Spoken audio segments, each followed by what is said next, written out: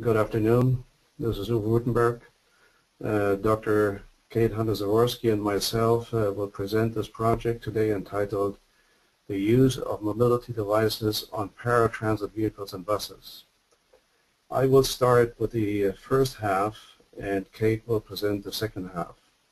At the end of our presentation, we would like to hear from you what experiences you have regarding the issues we have identified.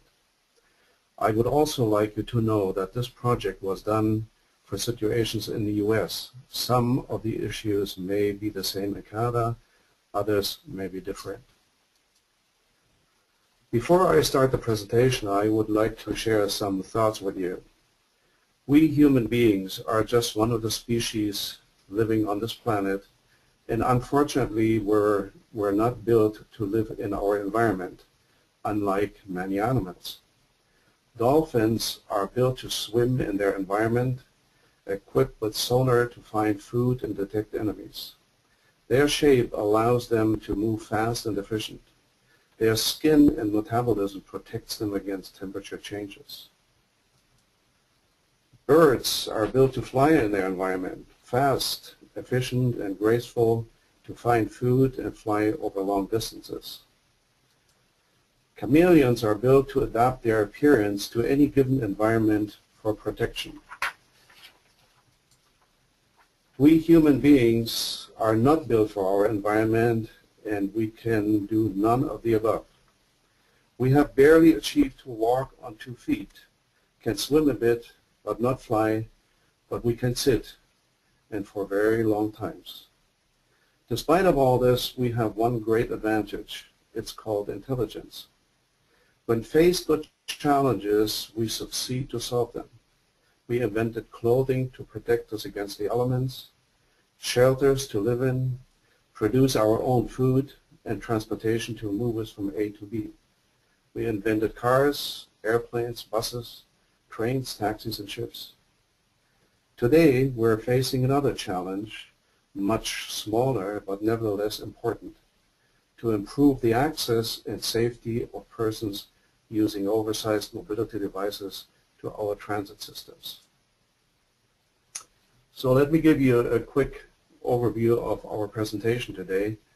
Uh, first, the uh, project objective, then we'll show you different stages of the mobility, a list of key stakeholders, the uh, research tools we used, uh, the identification of factors that impact the access to transit, finally issues, challenges, and suggestions, and eventually uh, going to your experiences in that field. The project, project objective was to improve the safety and level of service of public transport for larger and heavier occupied wheelchairs and scooters and paratransit vehicles and buses. This project was sponsored by the uh, Transit Cooperative Research Program, TCRP. Many of you probably know of the Transportation Research Board in Washington, D.C. Just want to make sure that this presentation reflects the views of the consultants and not necessarily those of the TCRP or the national academies. Uh, to identify some of the stages of the mobility, we have stage one where a person has a full mobility, convenience and independence. The person is able to walk, climb stairs, can use a car and public transport.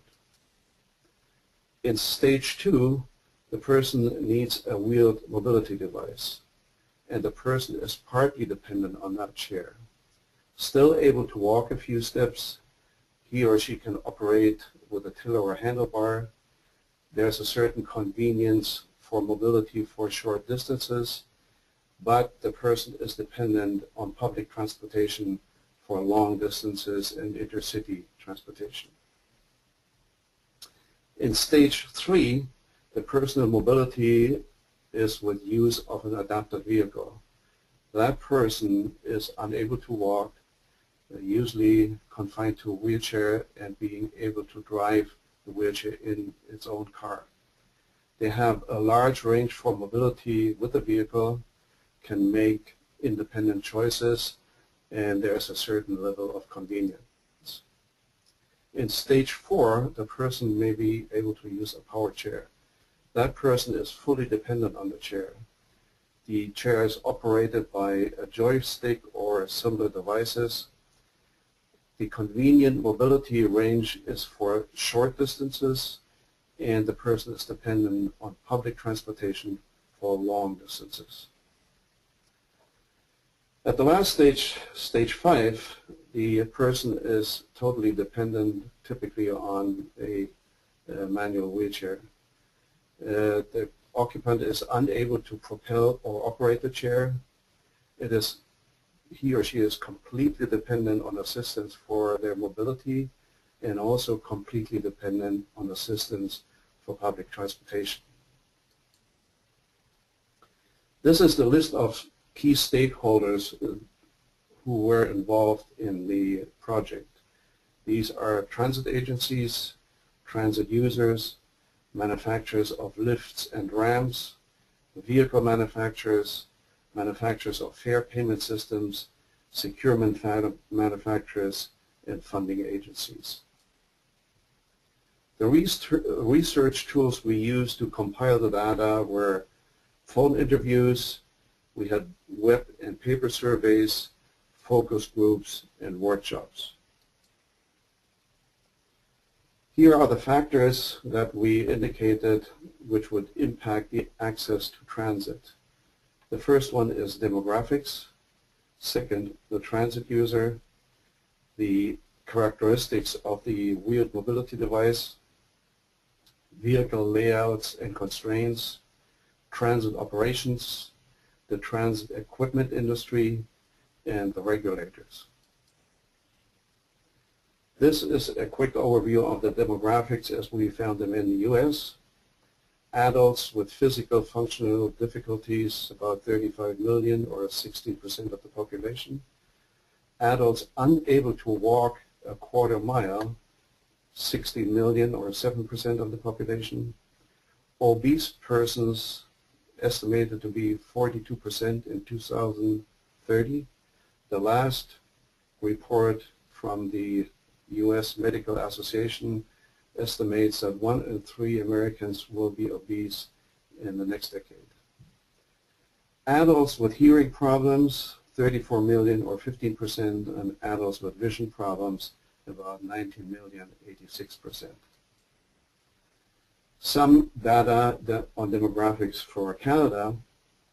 Statistics in Canada in 2006 reported that we have about 4.3 million people over the age of 65. This will increase to 10 million by 2056. More than 10% have a physical disability, and of that, 72% or roughly 300,000 have mobility challenges. Many of these people use wheelchairs, but the trend is to use three and four-wheel mobility scooters. Why? We will come to this later.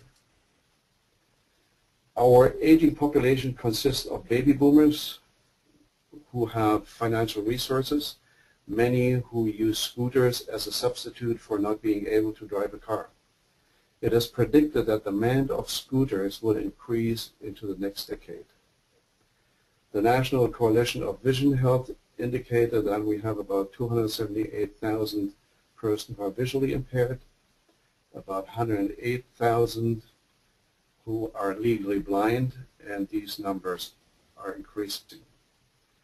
This is a cross-section of transit, transit users we identified. Uh, starting on the left, we have the, the passengers using manual wheelchairs, sports chairs, power chairs, scooters, and bariatric chairs. Bariatric chairs typically refer to wider chairs for people who are obese and heavier. Second picture shows the wheeled walker who can uh, be used with or without a seat. Then people on crutches and canes. And the last picture shows a person with a guide dog, a person who is blind. But we can also have service animals for persons who are deaf or hard of hearing. Here are some of the mobility device characteristics that we found. A typical manual sports chair uh, has a dimension of uh, 24 inches width by 48 inches long. Power chair about the same, can be a little bit wider. A three-wheel scooter still within the same kind of range, could be 30 inches wide, 48 inches long. Now we're coming to the oversized three-wheel uh, scooter, which can range from about 34 inches wide on 56 inches long or even longer. Standard four-wheel scooters can be 30 by 48 and the larger oversized four-wheel scooters uh, which are increasing in demand are about 30 inches wide and 60 inches long or even longer, which of course has an impact on the transit industry. Here are two pictures of non-transportable mobility devices. On the left you can see a large three-wheel scooter. These devices are coming more and more uh, onto the market but are mainly used in outdoor environments. We can also see large four-wheel scooters, in this case here showing a canopy, uh, but other accessories can be added so the length of the scooter is increasing significantly, uh, of course creating problems for access. This is a, a, quick comparison here on the mobility device length. Uh, on the top uh, you see the standard reference wheelchair length, uh, which is about 48 inches. On the first line you see this four-wheel scooter exceeding the 48 inches significantly could be 56 or even longer. Three-wheel scooters can be a little bit longer. We're talking about almost a standard scooter here, uh, not the one before that I showed you is, is extremely uh, larger. And then we have the manual wheelchairs, power chairs, sport chairs. They're all within the range of 30 by 48. At this point, I would like to uh, change over to Kate she will uh, continue with the presentation from here. Kate, please go ahead. Thank you, good morning. I'd just like to mention that now we're moving from looking at the mobility aid and the user to our focus really around the vehicles. And one of the things that we discussed in our project was really looking at the environment for securement and judge, describing the securement environment in terms of the size of vehicle, the mass of the vehicle, um, in terms of the requirements for uh, managing the forces. In the slide above you see a 20G environment. That is the type of forces that a securement system must control. Generally it's forward facing and we're looking at small vehicles, paratransit vehicles under the gross vehicle weight of 13 thousand, let's say 14,000 kilograms. I do want to point out that there is a gray area as you transition in these weight zones. So 14,000 kilograms, you know, there may be some instances where it behaves more as a 3G than it does as a 20G, but these are sort of broad ranges that we use. A 3G environment would be what you would see on a large transit bus, a 40-foot bus. Uh, generally, you are in an environment where you can have rear-facing securement, side aisle containment. And then the new one that we have proposed to study is really our 1G environment. These are your very large articulated rubber-tired vehicles, and generally these are the vehicles that you would see in a bus rapid transit type operations and service. And we propose that in this environment, you're looking at 1G, and this is really due to the nature of the ability of that vehicle to accelerate and decelerate. It's not directly related to the mass. It's really, in some ways, much more related to the transmission of the vehicle and also the ability of that vehicle to attenuate energy if there is any type of collision. And then within that, we have various securement systems that we look at Next slide, please. Um, in these different environments. So in a 20G environment, which is our smaller vehicles, generally gas-powered, gas, uh, gas or diesel type transmissions, you have a slow, you have uh, the opportunity for much, much higher forces uh, for both in acceleration and deceleration. And the standard type of securement is your four-belt wheelchair mobility device securement system with an occupant restraint system. And in almost all instances, you're looking at forward facing. The 3G environment, which you'll encounter on transit buses, fixed route operations, is generally rear facing with some sort of aisle side containment. And in this slide in the center here, you'll see that we have sort of what we call kind of the hockey stick. Uh, there are some issues with this. The stanchion can often get in the way, uh, be a problem, but it does prevent the mobility aid from tipping over into the aisle. Another area we're exploring and uh, would like to look at for the future is a side-facing. The picture you see in front of you is from a vehicle uh, either in Spain or Australia. You see it's a very large transit vehicle, but uses side-facing. Um, you'll also notice in this picture, though, that the user is using a manual chair hanging on, and it's not a particularly long chair, so it doesn't uh, invade the aisle, whereas a long scooter would actually block the aisle, and it may not be a feasible solution. So that brings us to looking at various vehicle layouts and the constraints that they propose. So this is just, in a sense, a generic high-floor paratransit vehicle. It has a fairly limited seating capacity, limited weight. You'll notice that there are steps to enter the vehicle. The uh, generally with these types of vehicles, you'll often see that the wheelchair lift is located at the back and the seating area is also located at the back. There are vehicles out there that are high floor and they have their entrance right adjacent to the front door steps, the lift area, and the securement area is between the front and the rear axle. And this is something that we highly recommend because if you look at having the uh, wheelchair space behind the rear axle, people sitting in that position are exposed to uh, quite high vertical accelerations. And so if someone is already frail, it could be very much a problem. This is an example of what we're starting to see emerge on the market. Are These are low floor paratransit vehicles. They have a flip ramp at the front uh, generally a fairly generous vestibule that allows for large turning radiuses, which we see with scooters and things like that. And the wheelchair position, at least some of these, are located in front of the rear axle. You'll actually notice in this example there are two uh, seating areas behind the rear axle as well. But we really strongly suggest that if you're looking at uh, positioning of are more vulnerable passengers that the seating area be located between the front and the rear axles. Moving on to slightly larger vehicles as we go up the spectrum, this is an example of a sort of fairly generic low floor transit bus. And the challenge with this type of bus is the turning radius that you will see at the front. The vestibule there is, um, turn radius is 36 inches. If you go and look at the turning radiuses on many scooters, you'll see that they are 38, 39 inches.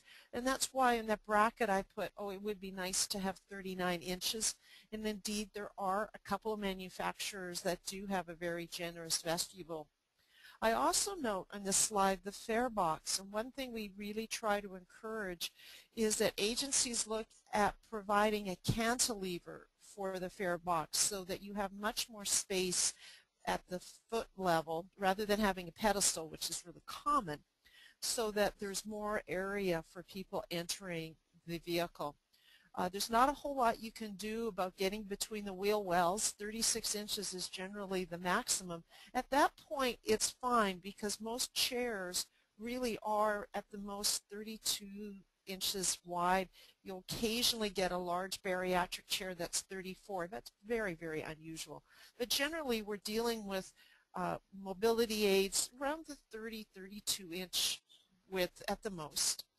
And then you come on and you'll see on this particular example we have a rear, two rear facing securement systems and one I'm assuming there's a flip seat there that also if somebody needed a forward-facing uh, securement system that they would have that option as well.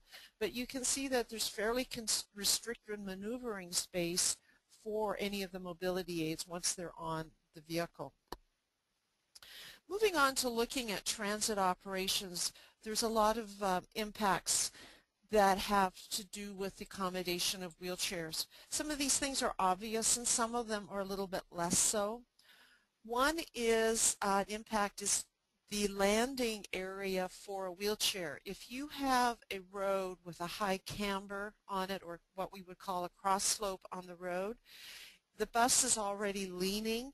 It makes it very difficult to have a safe uh, deployment, particularly of some of the lifts. So it's very important that we look at when we're placing our bus stops, that we look at what is really happening to the road and what is the landing like. Can you have a safe landing for that person? We also uh, want to make sure that we don't impede the operation of the transit system, particularly for fixed route operations where adherence to a schedule is very important. So we want to design our vehicles to try to minimize the dwell time, both for boarding and unboarding of mobility aids. At the same time, we also want to be very careful about the level of involvement of the operator or the driver, and this is particularly from a risk management perspective. We want to make sure that the lifts and ramps operate in a safe way so that the driver isn't having to get out and manually lift and move mobility aids. And I know that in many places they're not supposed to do this, but many of these drivers, out of the kindness of their hearts, actually do things that cause themselves injury. At the same time, the same is true for some of the securement systems really require that the driver become a Houdini in order to safely put on the straps and things like that. we want to make sure that our securement systems are designed in a way to really look at minimizing uh, the driver involvement and protecting the driver. The other challenge that we have in operations is the dilemma about providing extra seating capacity or for for our passengers. At the same time, we're trying to say, well, we want more space. We want to be able to accommodate three and four wheelchairs on a vehicle. And the dilemma that we have of providing seating. And can we look at other ways to do that and say, well, we will have um, seats around the edge of the vehicle, perimeter seating, and we'll have many passengers standing. But this really comes down to the philosophy of a particular transit agency and what and also the type of route that they're operating on. If you have a vehicle operating on a freeway at 55 miles per hour or more, it's probably prudent to make sure that all the passengers are seated.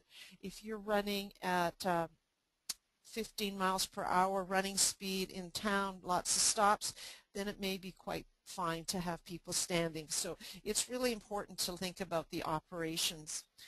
On fare collection can also be a barrier for access, with particularly if it's a pedestal type fare collection device. And with bus rapid transit operations, there's the opportunity for off-vehicle fare collection and getting rid of the fare devices on the vehicle altogether. And that certainly will give you more opportunity for improving the vestibule access to the bus. So we've identified a number of issues, challenges, and have some suggestions. So we're going to talk a little bit about wheeled mobility devices, some transit operations, and I've alluded to those already, and then also talk about specific types of transit equipment to improve that. So wheeled mobility devices.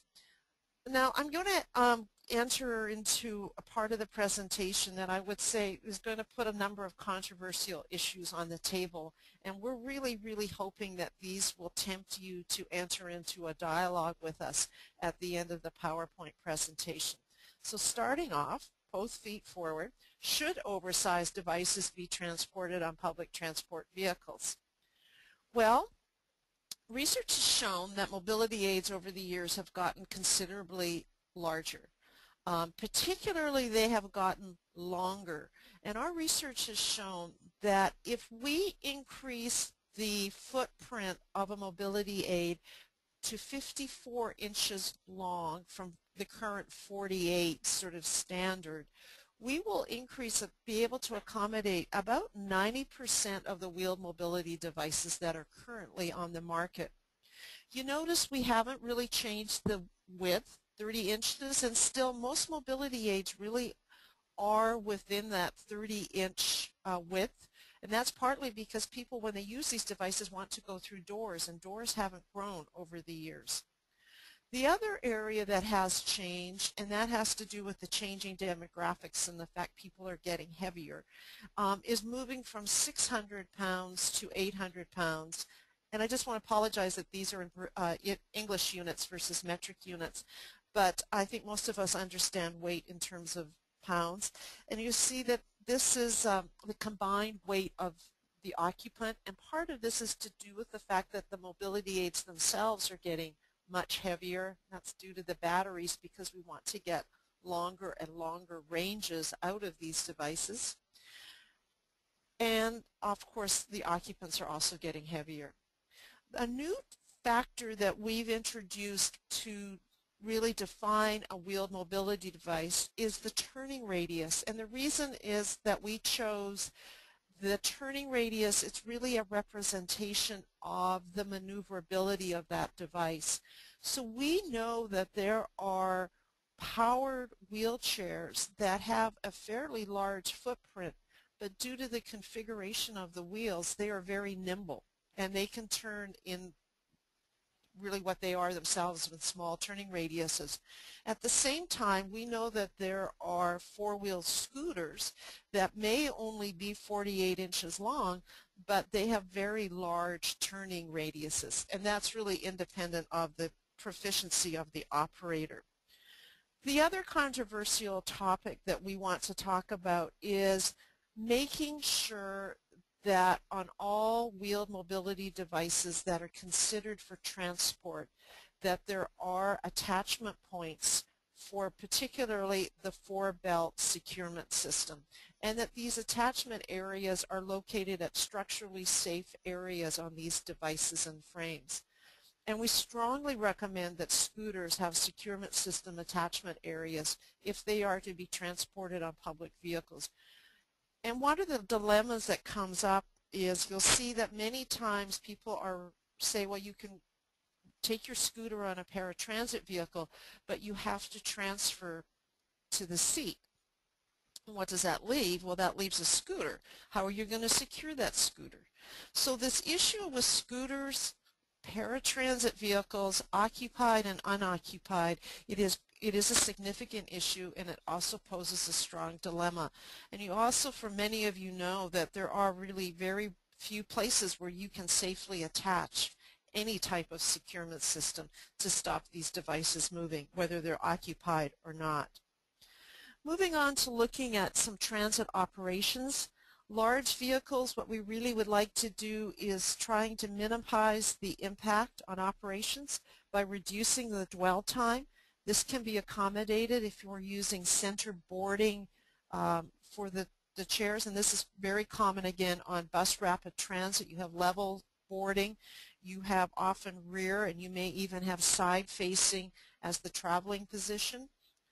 For smaller vehicles, making an effort to locate the wheelchair positions in between the front and the rear axle.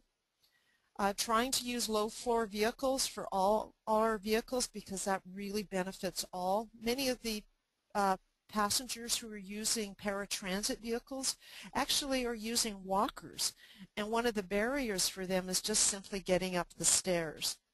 Also a consideration both for large and small vehicles is accommodating space for service animals.